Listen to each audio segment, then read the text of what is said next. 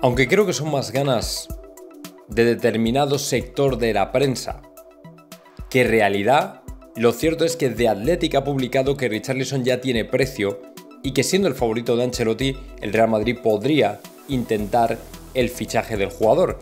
60 millones podría estar el precio de Richarlison en el mercado y 60 millones que podrían traer al Real Madrid a un jugador que lógicamente serviría ya no solo a nivel táctico, lógicamente, sino que además también le serviría al madridismo como bálsamo para lo que hemos perdido precisamente en una temporada donde nos hemos dado de bruces, yo diría que hasta en dos ocasiones y casi de manera idéntica, con los casos de Haaland y Mbappé. A mí Richarlison personalmente no es un jugador que me llame en exceso la atención, lógicamente está en el combinado brasileño, con lo cual es uno de los mejores, eso es cierto, si a Ancelotti le gusta es por algo también, o sea, no es ninguna broma, pero honestamente creo que podría haber mejores opciones. En cualquier caso, como digo, si el Real Madrid está interesado, pues lógicamente se tirará a por su fichaje, pero no sé hasta qué punto el Real Madrid va a intentar algo si no lo tiene realmente claro.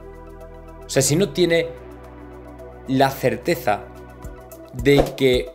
va a ser un jugador diferente, de que puede aportar algo al Real Madrid. De otra forma, sinceramente, no veo al Madrid fichando por fichar ni gastando dinero por gastar. ¿Me entendéis? Así que bueno, a partir de aquí veremos a ver qué ocurre, veremos a ver qué pasa, pero desde luego precio ya lo tiene puesto.